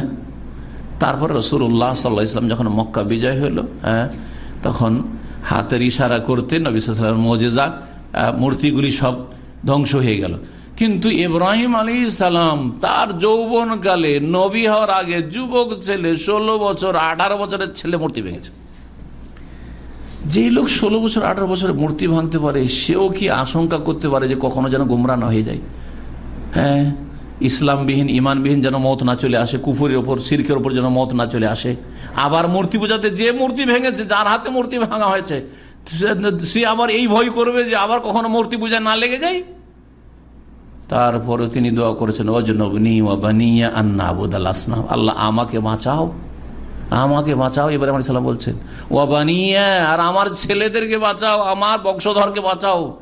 আন্না আবুদাল আসনাম, প্রতিমা, পুতুল পূজা থেকে, মূর্তি পূজা থেকে, শিরিক থেকে বাঁচাও ইব্রাহিম তাইমি রহমাউল্লাহ প্রখ্যাত তাবেই ছিলেন, তিনি বলছেন, তার নাম ইব্রাহিম।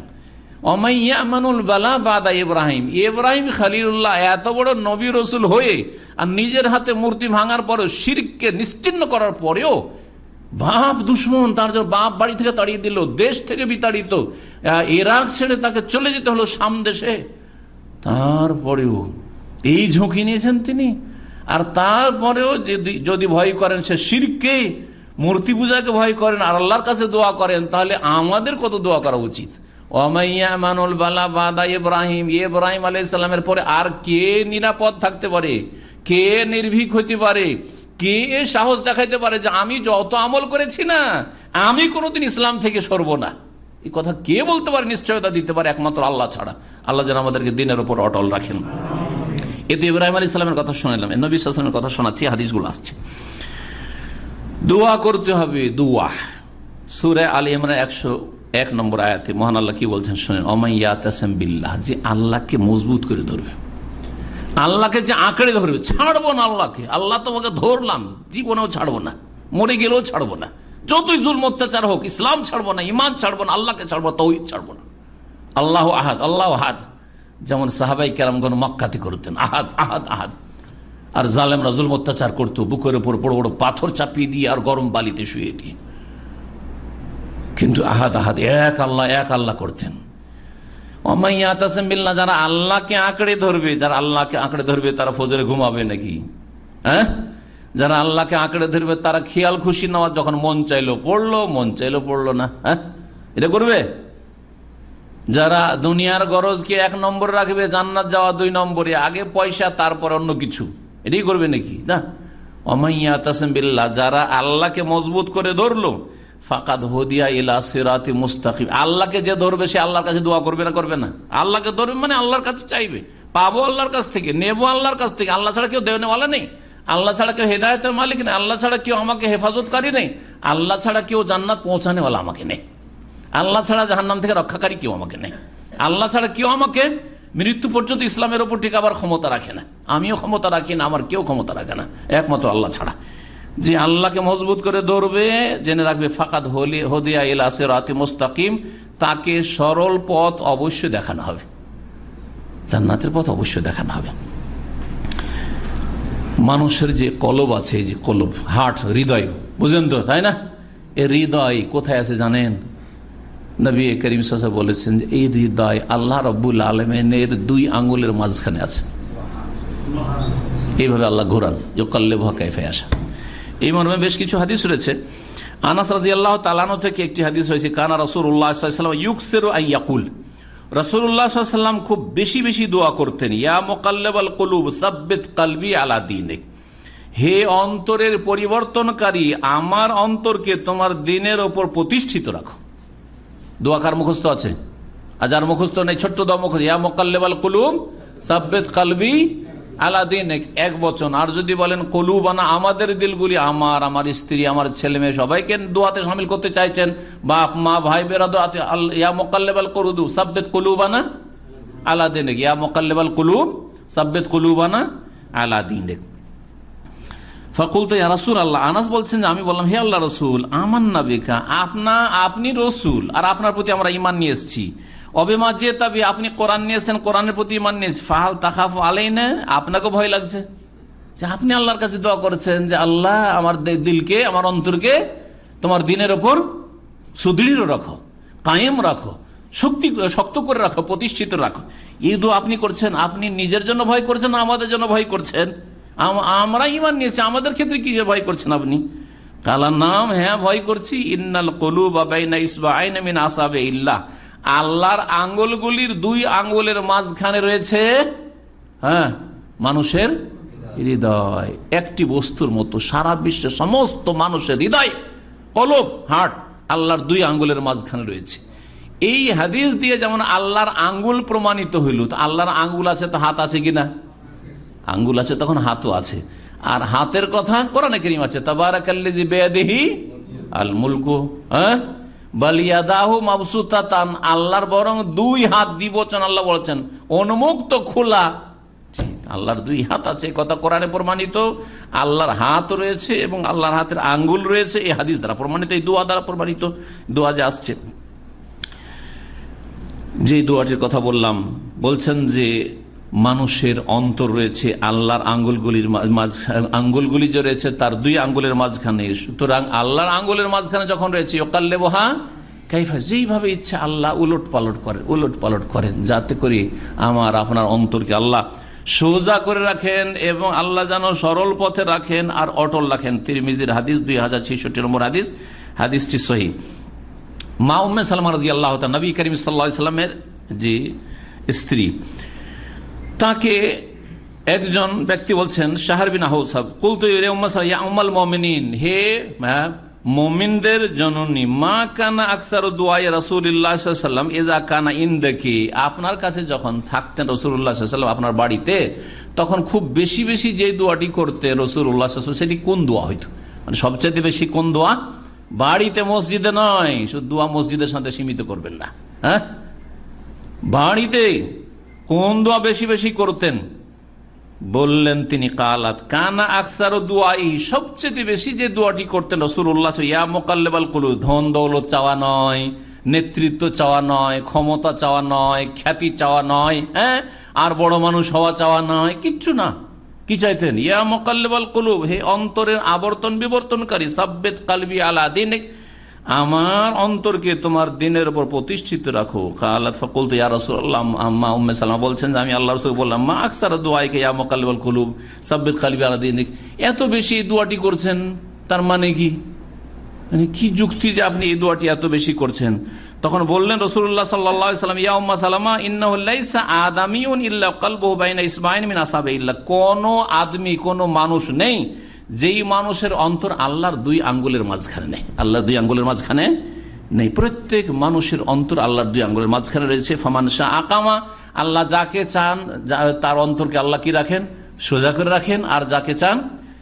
আজাগ। অমান শাহ আজাগ। আর যাকে চান, তার অন্তরকে আল্লাহ বাঁকা করে দেন। অন্তরকে আল্লাহ জবরদস্তি বাঁকা করে না মানুষ যখন বাঁকা হয়, তখন বাঁকা পথে চালিয়ে দেন। বাঁকা যখন হয়ে যায়, তখন বাঁকা পথে চালান। এর দলিল বলছি, ফালাম্মা জাগু আজাগ আল্লাহ কুলুবাম সুরে বলছেন ইয়াহুদিরা যখন নবীকে মারল না, বাঁকা পথ নিল না না। যখন তারা বাঁকা হয়ে গেল আল্লাহ কুলুবাহম, আল্লাহ তাদের অন্তরকে বাঁকা করে দিন ওই আজাগা শব্দটি এসছে। তারপরে আল্লাহ তালন এই আয়াত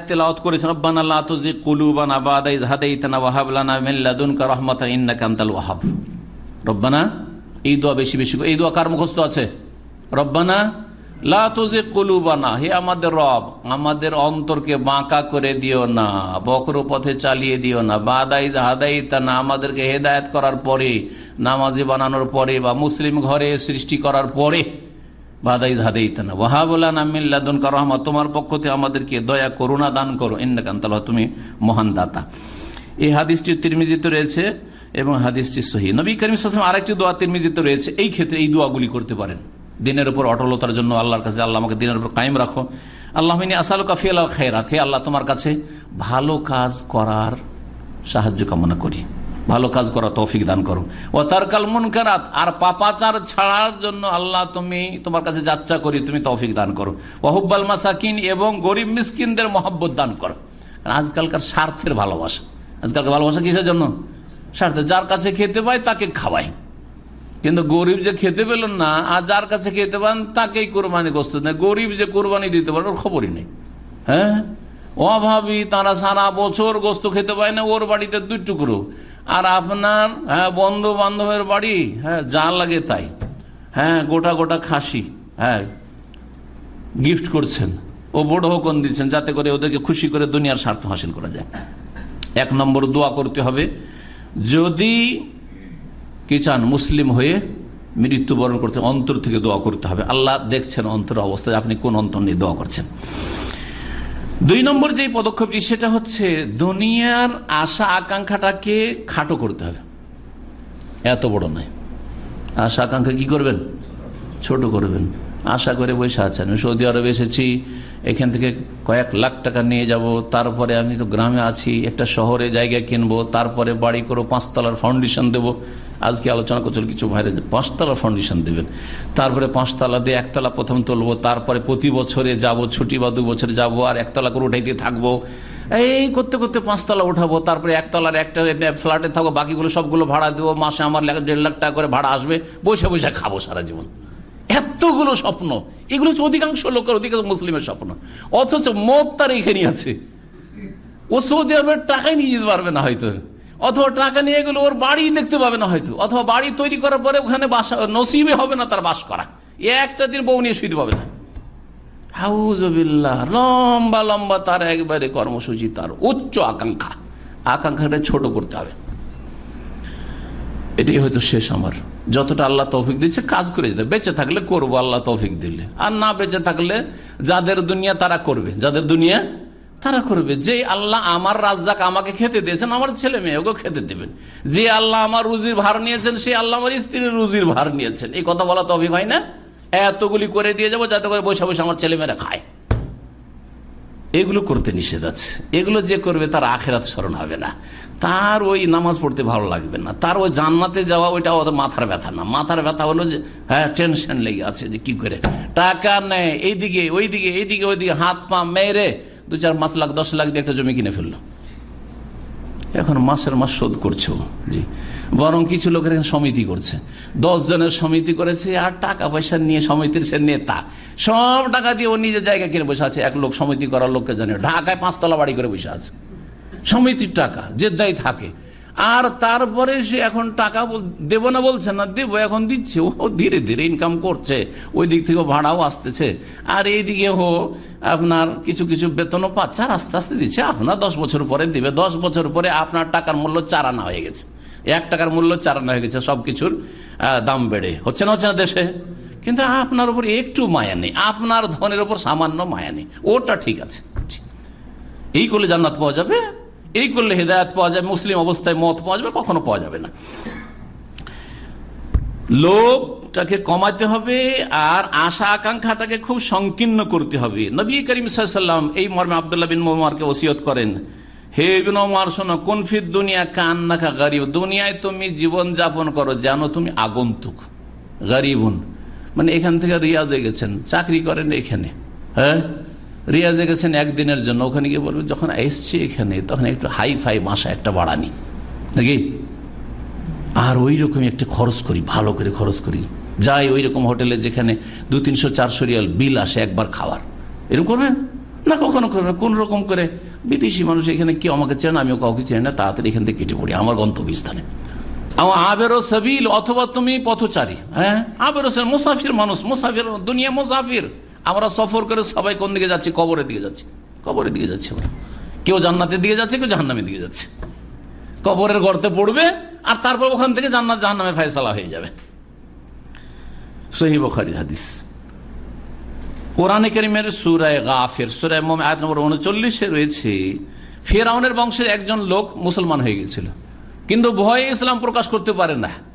ফেরাউন যখন খুন করতে চায় মোসাকে, তখন ফেরাউনের পক্ষ নিয়ে ফেরাউনকে বুঝায় যে দেখো, লোকটা কোন মন্দ কথা বলছে? আমিও মানি না, ঠিক আছে। তোমার সাথী আছে আমি। কিন্তু লোকটা কোন দোষের কথা বলছে? তো ভালোই কথা বলছে। যাক, সেই জন্য ওকে খুঁজতে হবে? না, মারাটা ঠিক হবে না। মারাটা ঠিক হবে না। সুভান অন্তরে ইসলাম আছে ইমান আছে। কিন্তু জাহির প্রকাশ করতে পারছে না। ওই লোকের ঘটনা এই সুরায় বয়ান করা হয়েছে।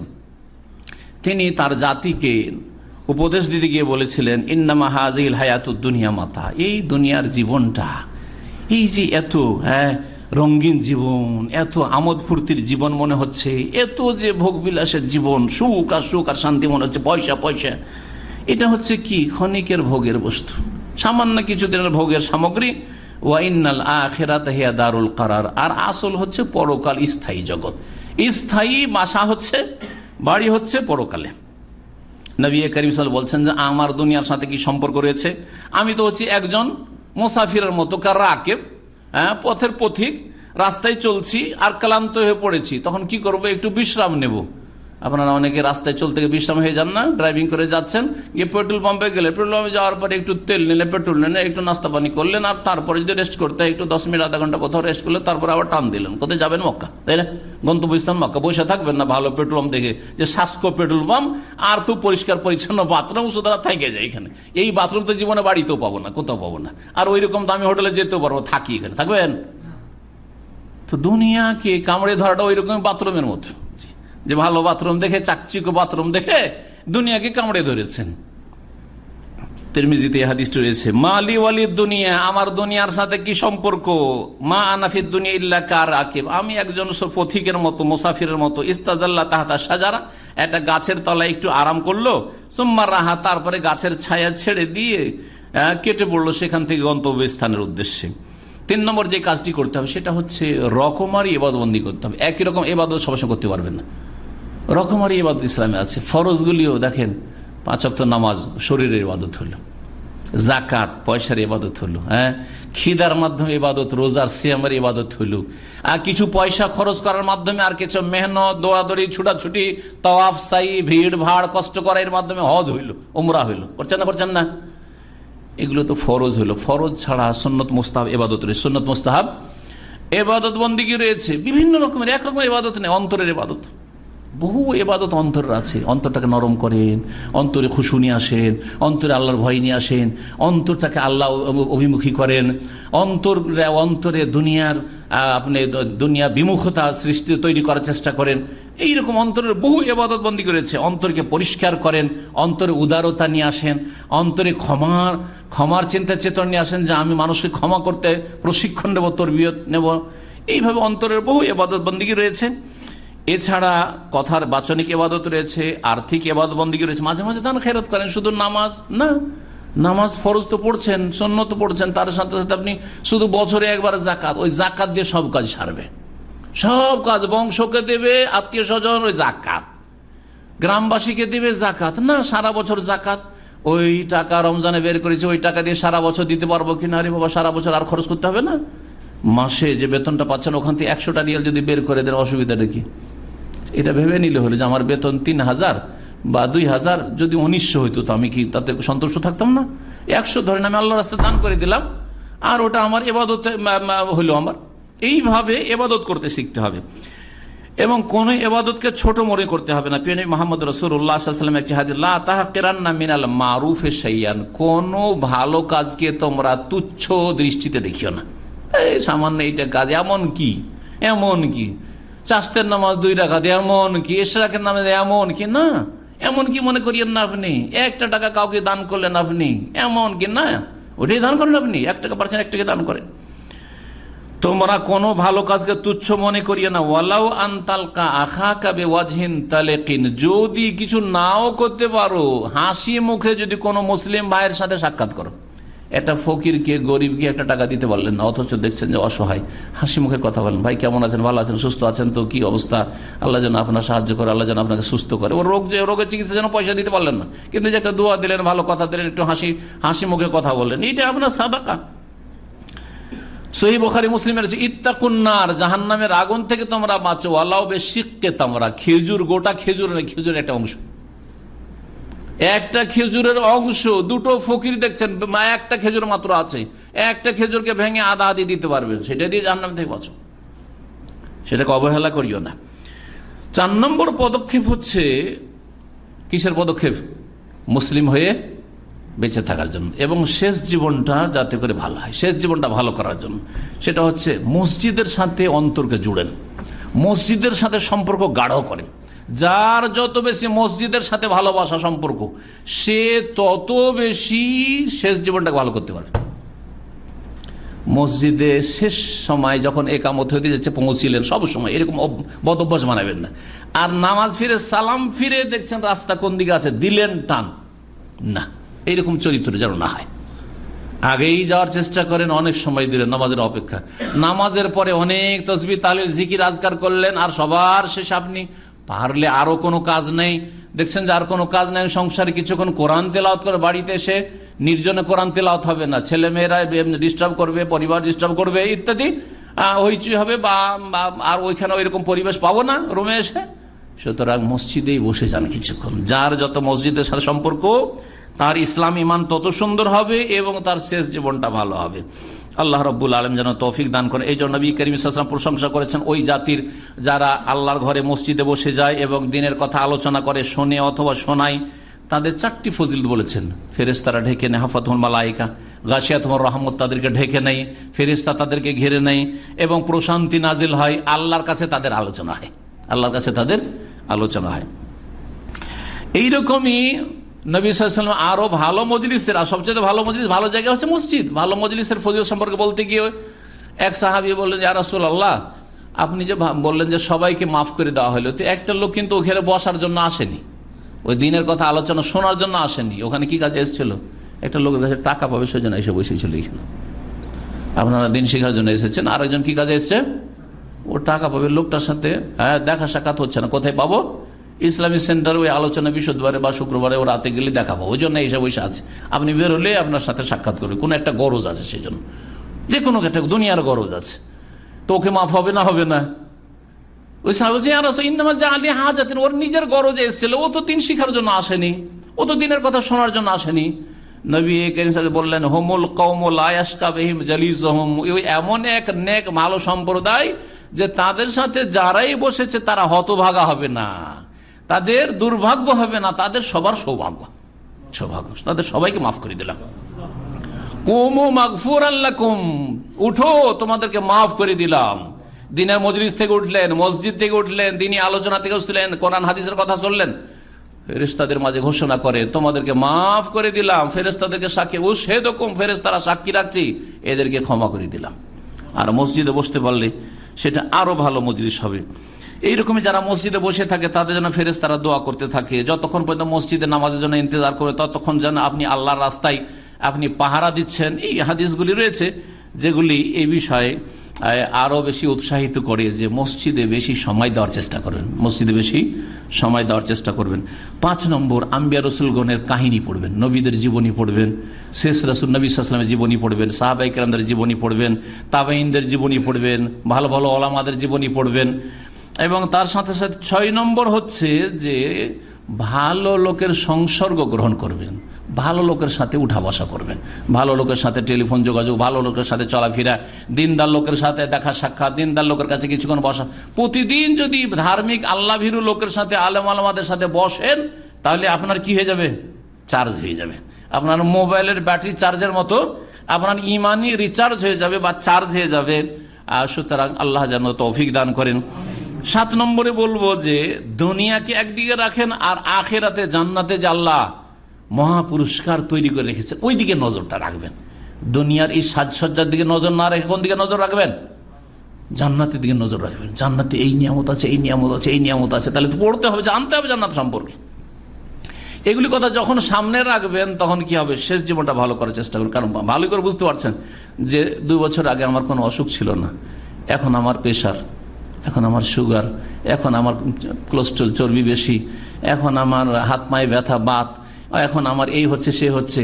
আগে সারা দিন কাজ করতাম, ক্লান্ত হইতাম না। এখন দু চার ঘণ্টা ডিউটি করলে ক্লান্ত হয়ে পড়ি, ভেঙে পড়ি। তার মানে কোন দিকে যাচ্ছি আমি? কমজোরির দিকে যাচ্ছি, মতের দিকে যাচ্ছি, কবরের দিকে যাচ্ছি। সুতরাং আল্লাহর কাছে যেসব নিয়ামত রয়েছে, তার জন্য আপনি আগ্রহী হবেন আল্লাহ রব্বুল আলম যেন আমাদেরকে নেক আমলের তৌফিক দান করেন এবং দিনের ওপর অটলতা দান করেন, মুসলিম হয়ে বেঁচে থাকার তৌফিক দান করেন, মুসলিম হয়ে আল্লাহ যেন মত দান করেন এবং দুটি দুয়া এখানে শোনায় রব্বানা, আবার বলছি সুরে আলে ইমরান, আয়াত নম্বর আট। রব্বানা আল্লাহ কলুবানা ওয়াহাব।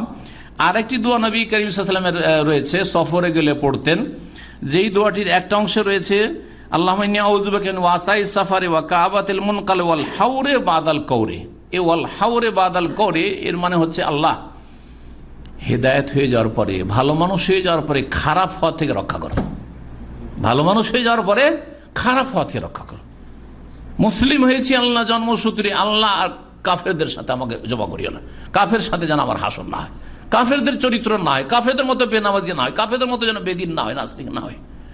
এইরকমই যখন আল্লাহ ভালো অবস্থায় নামাজ রমজান মাসে ধরেছি বা হজে, এই হজের সফরে নামাজ পড়লাম, এই দশটা দিন ভালো ইবাদবন্দি করলাম, আল্লাহ তুমি আমাকে এই রকমের নেক থাকার তফিক দান করো।